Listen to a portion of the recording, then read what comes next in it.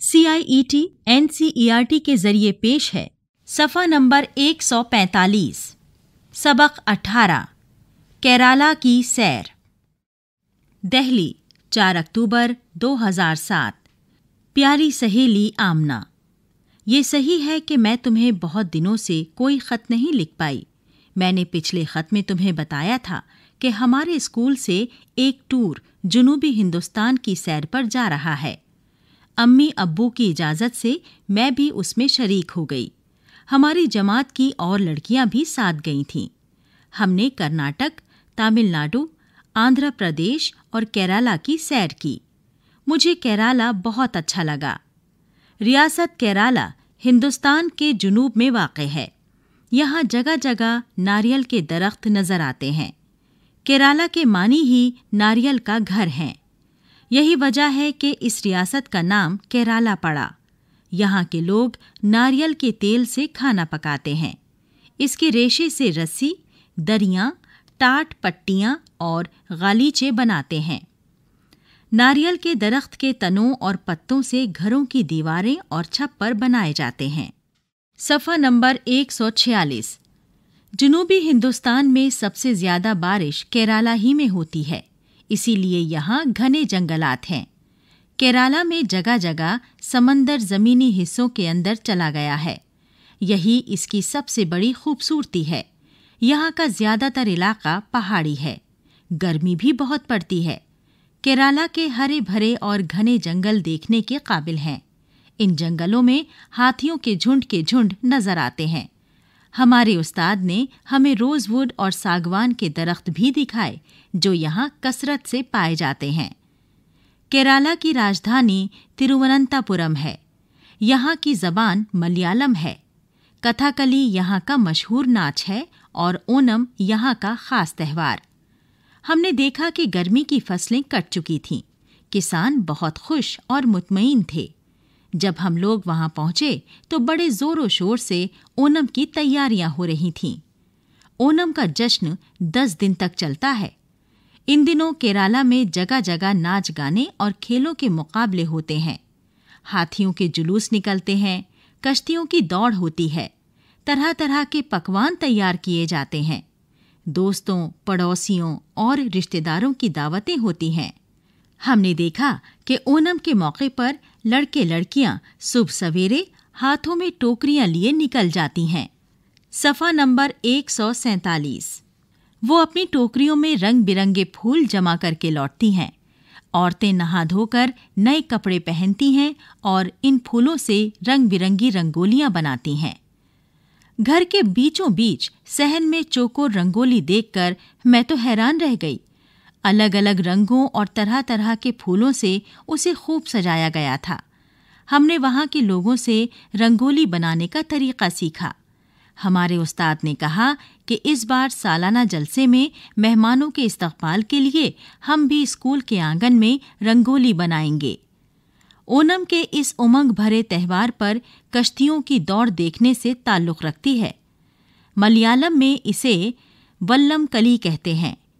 इस दौड़ में हिस्सा लेने वाली कश्तियों का अगला हिस्सा सांप के फन की शक्ल का बनाया जाता है।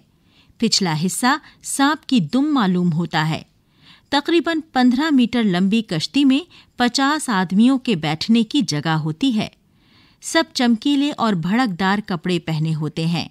दूर दूर से लोग इन नाग फनी कश्तियों की दौड़ देखने आते हैं और नाव खेने वालों का हौसला बढ़ाते हैं। सफ़ा नंबर 148 किनारे खड़े होकर हमने इस दौड़ के खूब मज़े लिए और जीतने वाली कश्तियों के मल्लाहों से हाथ मिलाकर उन्हें मुबारकबाद दी। केराला की हसीन वादियाँ, बहते झरने, लहलहाते खेत और समंदर के खूबसूरत साहिल मुझे इतने पसंद आए कि मैंने इस सैर में तुम्हें भी शरीक कर लिया। आखिर में ये और बता दूँ कि केरला वाले तालीम में बहुत आगे हैं। वहाँ पढ़ने वालों की तादाद सौ फ़ीसद है।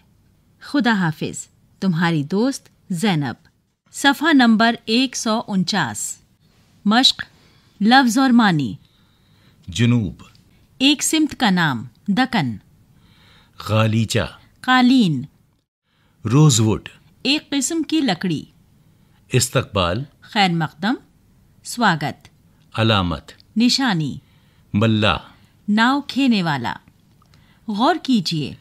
केराला के दिलकश और खूबसूरत कुदरती मनाजिर सयाहों को अपनी तरफ़ खींच लाते हैं।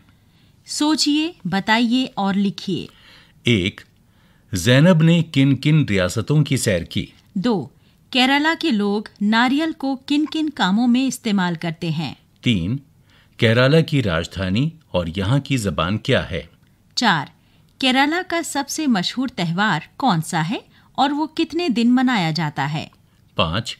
रंगोली किस तरह बनाई जाती है? छः। वल्लम कली क्या है और ये कैसे खेला जाता है? सफ़ा नंबर 150 खाली जगहों में सही लफ्ज लिखिए। एक। रियासत केरला हिंदुस्तान के खाली जगह में वाक़ है। दो। केरला के हरे भरे और घने खाली जगह देखने के काबिल हैं। तीन हम लोग वहाँ पहुँचे तो बड़े ज़ोर शोर से खाली जगह की तैयारियाँ हो रही थीं। चार फूलों से रंग बिरंगी खाली जगह बनाई जाती हैं। पाँच दूर दूर से लोग इन नागफनी खाली जगह की दौड़ देखने आते हैं। छः वहाँ पढ़ने वालों की खाली जगह सौ फ़ीसद है। इन लफ्जों से जुमले बनाइए। त्यौहार नारियल बल्ला रंगोली जश्न।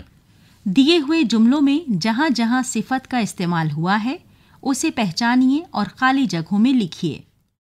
सब चमकीले और भड़कदार कपड़े पहने होते हैं। केराला की हसीन वादियाँ बहते झरने लहलहाते खेत और समंदर के खूबसूरत साहिल मुझे इतने पसंद आए कि मैंने इस सैर में तुम्हें भी शरीक कर लिया। सफ़ा नंबर एक सौ इक्यावन। हर तस्वीर के नीचे उसका सही उन्वान लिखिए। नागफनी कश्ती नारियल का दरख्त कथकली रंगोली वल्लम कली हाथियों का जुलूस। केराला की सैर पर पाँच जुमले लिखिए। सफ़ा नंबर एक सौ बावन। यहाँ रंगोली का खाका दिया गया है उसमें रंग भरिए। अमली काम।